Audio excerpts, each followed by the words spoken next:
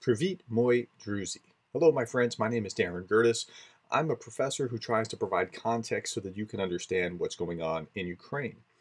Now, the big story right now is the drone attack that hit the Kremlin. And I'm going to show you what pro Ukrainian YouTubers are saying about this. I'm going to kind of distill just who's on which side of how they interpret it. Okay, so if you just stick with me, I'm going to go through all those and then I'll recap it and then you can decide what you think. So the first thing is Russia is just flipping out about this. Here's the actual event itself, and we'll see one of the drones hitting and it's not really causing any damage, but it is quite a symbolic attack on Russia. But who did the symbolic attack? Was it Ukraine? Was it false flag? Was it uh, some local partisans? We just don't know. But again, they're just flipping out. Lots of time is being spent on RT and TASS and Pravda. I'm show showing you mostly RT here, but here are the headlines. Ukrainian assassination attempt on Putin foiled. Well, it wasn't an assassination attempt. He wasn't there, and everybody knew he wasn't there. Uh, Putin unhurt by drone attack, but that's this assassination thing is the uh, line that they're using. Uh, Russia warns of retaliation for Ukrainian attack on the Kremlin. Um, here's another one. West cannot stay silent on Kremlin drone attack, but won't admit anything, say the experts. Top Russian MP calls for use of weapons capable of destroying the Kiev regime. And here's one more. Moscow accuses the West of fueling a sense of impunity in Kiev. Okay, so those are the major headlines. The same kind of thing is in Pravda and TASS. Okay, so how do pro-Ukrainian YouTubers come down on this? Well, Georgie could barely contain his joy. Now, I understand that because I was feeling like, wow, they did that. But here's Georgie. I'll let him start with this. He's on the side that Ukraine looks like it, they did it. And this kind of makes sense, right? I mean, who's at war with Russia? Ukraine. So let's hear Georgie. If you are not aware what really happened, let me get you up to speed. Firstly, what was covered on a thumbnail of this video, which is that not just one, but two Ukraine, well, okay, let's say maybe not Ukrainian, but drones of an unidentified origin have struck Moscow's Kremlin. Setting Kremlin on fire is a big deal because I'm pretty sure you're aware that in Moscow they've been bulking up air defenses just as tight as they can. And Russians really wanted to hide it. Like they didn't say anything right from the morning that uh, Russia was attacked and so on. But the more important part here is is just how much humiliation it is for the Russian air defense, and, and just and, and, that's really a big thing. And he said, "Well, uh, unidentified type," but um, Georgie believes that it came from Ukraine. Okay, that's fair, um, and it is a humiliation for Russia. So that would lend itself to the theory that it's from Ukraine. Okay, let's go on and look at the next one. So Georgie could barely contain himself. Here's Vlad Vexler, and he's he's a little bit more. Um, contemplative about it. Here's who's but Before we do that, we've got to ask the basic question: Who done it? Let's start with Ukraine did it, which is the most plausible explanation until we know more. This was not. And, and I like the way that Vlad takes this. He says, "Look, this seems like the most plausible until we uh, understand something else," and then he runs with this. So here's Vlad: an assassination attempt on Putin. Mr. Putin doesn't live in the Kremlin. He is not there at night. So this is about symbolism. Mm-hmm. This is about politics. And this sends a very powerful message, even though it practically doesn't accomplish any goals. And, and, he's right, it does send a powerful message. And the powerful message is we can actually reach you. And that's a very, very powerful message. This wasn't Ukraine. Ukraine is perfectly capable in the future of carrying out similar operations. What Ukraine does on Russian soil, as we'll hear in a moment, will continue to diversify and escalate in 2023. Now, okay, so that's Vlad's take. It's the most likely thing is that it was Ukraine. Now, he was also talking about the attack being on Russian soil and it's look we can reach you. So reporting from Ukraine did a really good job of making this same kind of point because there were multiple drone strikes and there was in Crimea uh, and into other places in Russia and then there was this drone strike. So let's hear what he has to say. However, the biggest news by far is that today Moscow was hit by two drones. And the explosions were recorded not on the outskirts but in the heart of Moscow, Kremlin. The footage shows how a drone hits the dome and explodes. Later, Russians sent some inspectors to evaluate the damage and collect the remnants of the drone for analysis. The building did not sustain big damage and there were no casualties. Russian sources immediately declared that Ukrainians conducted an assassination attempt on Putin, while the Ukrainian side quickly responded by claiming that they are not responsible for the attack. Today, another drone attack was conducted on the airfield in Bryansk. It was reported that at least one plane was damaged. If true, the goal of this drone attack may be to force Russians to relocate their fighter bombers away. Okay, now this this gives a very strong argument for Ukraine doing it. If the goal is to force them to move their fighter bombers back or to move their air defenses back, and that's what I said about the Crimea uh, attack where they hit the oil fields the other day, that's a pretty strong argument that uh, Ukraine may be behind this. Okay. Now, Denys also talked about this, but Denys talked about both sides. So I'm going to let him talk about both sides and hear let's let's hear what Denys had to say. Well, my friends, I think that you have already heard about the drone that hit one of the buildings in the Russian capital city of Moscow, and to be more precise, in Kremlin. And the building over there carries the main flag of the Russian Federation. Before there was the Soviet flag and it was changed for the Russian flag after Soviet Union collapse and that moment was quite iconic for Russia and for the Soviet Union. It was live broadcasted marking the new page in the history of the ex-Soviet countries. Unfortunately Russia failed to develop in the democratic state and they continue to bring suffering for their neighbors like Ukraine. So this attack was really symbolic and we have two of the sides that could have conducted this attack, Ukraine or Russia itself. So today we're gonna review both of those variants, Russian false flag operation or Ukrainian attack far behind the front lines to mark the weakness of the Russian Federation. The Russian propaganda claimed at first that they've shot down the drone just over that building but no, it was the programmed explosion over that building. So no casualties were reported, uh, no big damage to the building, I would say, but the huge reputation damage to the Russian Federation. It and that's exactly it. It's the symbolism. It's not actually causing anything to bad to happen, but we can reach you. Um, Russian propaganda, as he said, said that well, we shot it down. Mm, maybe it didn't. Russian propaganda said, um, well, it was an attack on the life of the president, and they're running with that. And no, it wasn't. Okay, so he's saying it's probably it, it's either Ukraine or it's the other, and he's going to give both sides.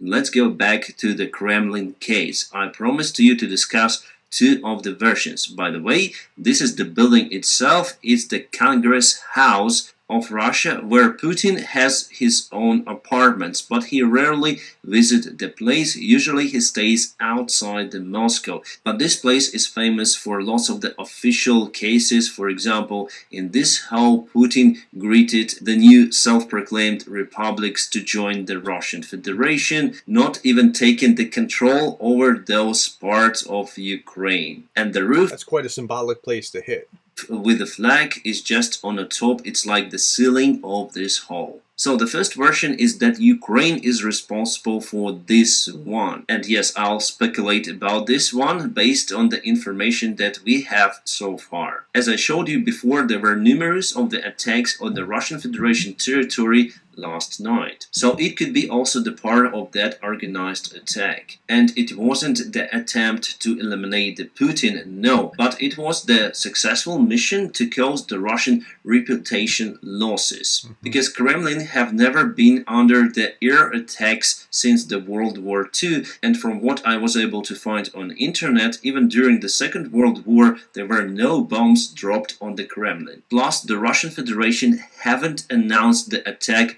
on the Kremlin for a very long time.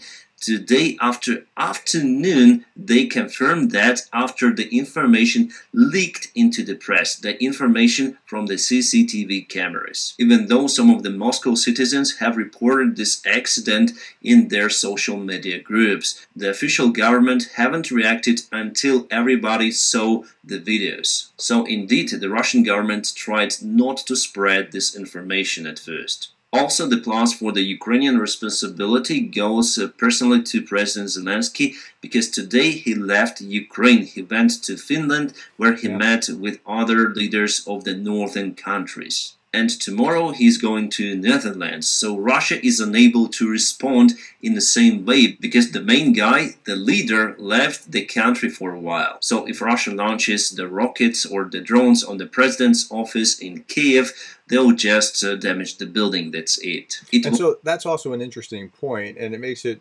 look like it was planned, and it was planned in such a way that Russia can't really retaliate in the way that they're saying that they want to retaliate. Uh, so it leans toward that theory.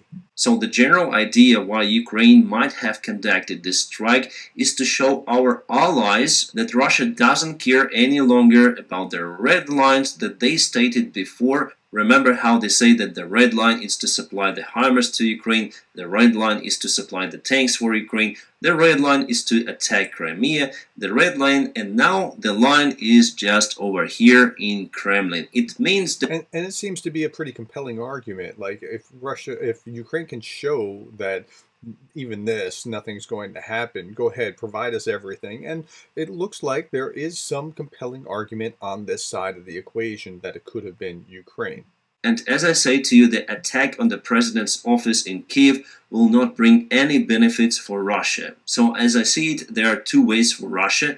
The first one is very stupid to use nukes. The second one is also stupid, but nevertheless, it could be they may declare the war officially against Ukraine and announce the massive mobilization of the Russian men. And both of those variants are terrible for Yep, Putin's regime. But we have also the big minus in the version that Ukraine conducted this attack because officially President Zelensky declared that Ukraine is not responsible for this. And some of the Ukrainian politicians say that there is the Russian opposition or Russian elite that is against the Putin's regime. They've bought the drones to conduct this assault, let's say. Other than that, I don't see any kind of the minuses for the version that Ukraine conducted this attack. I know that we were preparing for some sort of the surprise for the Russian Federation on 9th of May, and you know probably that there was the competition announced by one of our bank directors with a prize of half a million dollars for those designers who will design the drone that will go to the Red Square and probably they are trying to do it. So I would say that Ukraine has pursued and inspiration to perform these kind of the strikes. All right, Okay, with that being said, I think he's onto something with uh, Zelensky uh, saying that denying it becoming part of the reason why you would, might see the other side. So, generally speaking, the Ukrainians, while the Russians lie about pretty much everything, the Ukrainians, when they either take credit for a strike or they stay silent for a stri- about a strike, like they they don't then they haven't shown historically that they're going to uh, deny something that they actually did, and so that that seems to be evidence for the other side, which he's about to get into. And now the version with the false flag operation. In that case, Putin wants to rise the stakes in the war to usage of the nukes or something like that. He wants to show to the Western countries that Ukraine conducted the attacks even on Kremlin without any negotiations with the partners. And just before the counterattack, it could be the sign for our allies do not support Ukraine with your weaponry. Otherwise, Russia may create the artificial situation in which they will respond using nukes. It doesn't mean that they will use them, they're still afraid to do it. Mm-hmm. But the idea now Right. is to show the Western world that they are ready. And also, this version has its own roots in the history. Then Putin got the power. So, right before elections, there were several buildings blown up inside the Russian Federation and in Moscow itself. And later on, the FSB agents were caught in Ryazan by police. And those FSB agents had explosives with them. Later on, police freed those agents, saying that it was just the exercise. But clearly, that story showed that Putin, together with FSB, blown up the buildings in Russia just to increase the rating of Putin. It was done to show the Chechen people as their main enemy, the enemy of the Russian people. And after Now, that's one of the strongest arguments for a uh, false flag operation is that Putin's done it before, and what you do in the past is the strongest indicator of what you're going to do in the future. So what Putin did to start the war with the Chechens is not out of character for him, and so he might do it again. So definitely there is the variant that Russia may restart this false flag operation once again to show the Russian society their enemy as Ukrainians. And finally announce the massive mobilization in their society and in that way they may secure the occupied territories in Ukraine. Okay, so that's Denys's take on this. Let's go on and hear uh, a shorter version. This is uh, Mercado Media and he just, you know, explains like, yeah, it's just this. What else had to happen? With respect to crossing red lines, etc., this was an attempt on the Supreme Commander. Global media is writing about this right now. This is exactly how they see it. No, it's not. No, it's not. No one's seeing it that way. Only state media like y'all, Mm-hmm. people that are holding the ideology that are just uh, anti-West, they're saying that. But common sense folk can see that this is a false flag provocation. Okay, so he just said common sense folk think that this is a false flag provocation, and he's just laying it out just like that. And I think, you know, there's something to be said for that. Denys just laid out the case. Here's Anna from Ukraine, and Anna, she has her take on this being a false flag, leaning toward that position as well. And I've never seen uh, Anna happier in the last uh, month. Today, I want to speak about news that are all over Russian media specifically, and this is the so called terror on Kremlin and uh, the desire to kill Russian President Vladimir Putin. So, what actually happened? Honestly, I am not 100% sure that these are the action of the Ukrainian armed forces, and I will explain you why a little bit later. So, honestly, uh, question number one when you look at this uh, video, you realize that such small drones with so little explosion cannot actually lead to serious troubles, and it does not seem it was likely they can kill a president. But they were talking everywhere. Another thing uh, that makes me think that still it is not a Ukrainian operation is how actively they discuss it everywhere, and I don't see any like uh, logical result of these actions that can bring us like anything. Uh, if it were a nuclear tactic bomb about Kremlin, then maybe it would be more uh, interesting and dangerous for Putin. But here uh, we have this panic all around Russian society, and maybe they try to distract the attention of uh, their population. I'm not going to call them society, of their population from the absence of huge celebrations, very traditional celebrations of the 9th of May, which is considered the victory day in Russia. And I think they've lost a lot of soldiers, they've lost a lot of weapons, tanks, and they don't have anything to show the people to demonstrate the victories of Russian army. That's why this parade is totally unnecessary. Not many leaders will come. That's why they perhaps will use this news to say that it's super dangerous in Russia because like Kiev regime wants to kill President Putin. Okay, so that's Anna, and she's on the side of that's a false flag, and it's not necessarily the Ukrainians doing it. Here's one interesting um, video that I think will lend some credibility to that side of the equation. This is Suck O Mimus. I think I'm pronouncing that right. Somebody corrected me about that the other day. This is the take that uh, when they geolocate and try to see where things came from and try to look at the Google Maps, how they perceive this. in about on the Kremlin's domed roof at 2.30 in the morning. Here's where it hit. The dome roof of the Senate building. Now this is interesting.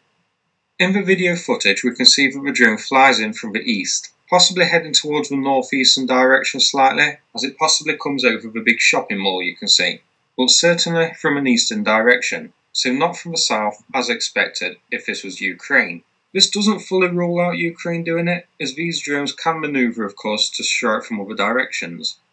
But I don't think it makes much sense for Ukraine to divert around to this side and risk the chance of a drone getting spotted and intercepted by having to fly further. This points to it possibly being domestic sabotage. This is over 460 kilometres in a straight line to the nearest border point with Ukraine. So if this was Ukraine, these drones bypassed 460 kilometers of airspace, at least. And depending on the route taken, this would have passed areas where you'd expect a high SAM presence. Highlighted here are cities with airfields and air bases Belgorod, Kursk, Bryansk, Kaluga, Voronezh. We'd expect to have some systems on high alert, not to mention the panzers we've seen in Moscow itself, and these drones, if Ukrainian, got through them all. But I don't think it was Ukraine. I think a false flag or partisan activity is the most likely candidate here. So that's Suchomimus' take on this, and they weren't even saying Ukraine or Russia's false flag. They were saying maybe partisans. Okay, so let's wrap up and try to get a sense of what are our options. So the first option is Ukraine did it. Okay, that makes sense. If Ukraine did it, they have symbolically shown that they can do it and they've backed up the army. But what are they actually getting out of it? As Suchomimus was saying, it, it, could have been something more local, and that could break down into two forms. That could break down into uh, either local Russians that are partisans against Russia, or it could be Ukrainian special forces on the ground, or it could be something worse. It could be Russian insiders trying to take down Putin, and because they're local, they have the local knowledge, they're doing that. Could be UFOs. I don't know. I would rule that one out but it also could be a Russian false flag operation. Now, let's talk about the the two leaders, right? If Ukraine did it, that's most likely. After all, they are at war with Russia. If we look at the idea of Occam's razor, Occam's razor is a principle or theory of construction or evaluation according to which, all other things being equal, explanations that posit fewer entities fewer kinds of entities are to be preferred over explanations that posit more. So the less complex solution is probably correct, is what Occam's razor is saying. The less complex solution is, well, who stands to benefit? Probably Ukraine. That would be the less complex solution. Another reason that it seems like Ukraine did it is that it forces Russia to back up to back up air defense, to back up jets, to back up all kinds of things because now they're on notice that Ukraine has the ability to hit them. It's also an excellent preparation to the counteroffensive if you cause them to back up. It's demoralizing to Russia just before Victory Day to have this kind of, of strike on the, the heart of Russian territory. Now think about this. Um, on 9 11, I felt it. I mean, I really felt it just when the Twin Towers were hit, when the Pentagon was hit. Um, the 9 11 um, hijackers were going to try to hit the Capitol building or the White House, or perhaps both. And it just didn't work out the way that they were going to. But whoa, you would really feel that. And so there's something there for demoralization. But the really interesting thing is that Zelensky denied it, and generally speaking, the Ukrainians either took credit or were quiet after a strike. And so, uh, and, and Mercado Media pulls this out, and good on Mercado Media Zelensky for showing this. Visiting and entering, and here he is making statements in a uh, press conference when he was talking. Ukraine did not attack Kremlin, Zelensky says, as Nordic's pledge continued support. So check this out. This moment. uh, you know, I, I can repeat repeat this message, and I think it will at least will be understandable for, for everybody. We don't attack Putin or Moscow. Uh, we fight on, on our territory. We are defending our villages and cities. We don't have, you know, enough weapon for this. That's why we don't use it any, anywhere. For for us, that is the deficit. We, we can't spend it. And we didn't attack Putin. We leave it to tribunal. Okay, now there's also the possibility that it was a false flag operation, and here are the, the reasons that it might be a false flag operation. Um, First, they can claim that there was an assassination attempt. It was clearly not an assassination attempt on Putin's life. I mean, there was there was nothing anywhere near the firepower that would require or that would be necessary for that. Putin doesn't stay there at night, so this would be kind of stupid. But second, it would generate some significant patriotic sentiment within Russia. And if that's what you're trying to do, if you could claim that there was an assassination attempt, if you could show that you're under attack, you can rally the people together under that banner. Uh, it also allows Putin to escalate, and this is a really interesting point. It allows Putin to escalate in a way that he otherwise can't. His, he's been crying wolf about nuclear for so long that he really has very few cards to play. He's used his missiles to attack the civilian population rather than the military in Ukraine, and and he hasn't been able to get any more ground or getting gain any more traction than he has.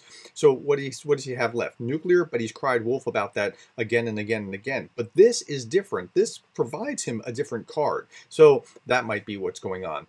Um, there's also an excuse to target Ukrainian civilians in a terrorist campaign as retribution retribution so they can do this more to do the terrorism that they were doing before, but less before it looked like terrorism. Now it looks like just retribution for trying to assassinate the president. So there's that. It's also an excuse to prevent the Victory Day parade. And I talked about this yesterday.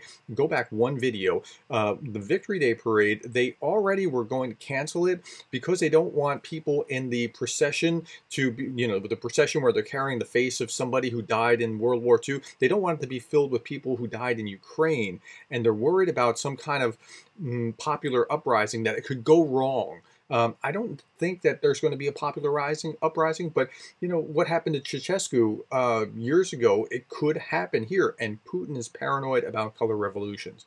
And then finally, um, there's a false flag because they're demonstrating how strong they are by defeating this, you know, this threat that came to us, this tiny little threat that hit the building we're going to go defeat that and, and the, the massive retribution is going to allow them to try to demonstrate how tough they are. Okay, those are a menu of options. I have a particular proclivity toward this. I believe that one thing is stronger than another, but I'm not going to say what I believe because I don't quite have enough evidence to show you, but that's the menu. So it could be uh, that Ukraine did it. It could be that local Russians or Ukrainians on the ground did it. It could be that Russian insiders are trying to take down Putin. It could be that Russia is involved in a false flag operation, and the leading candidates are Ukraine or false flag, but we just don't know at any rate, that's what UA tubers on YouTube have been saying about the drone strike. I hope that's helpful. Thank you for watching this video all the way to the end. If you watch it all the way to the end, can you just leave me a comment and tell me what you think? And uh, thank you for being the kind of person that cares about Ukraine.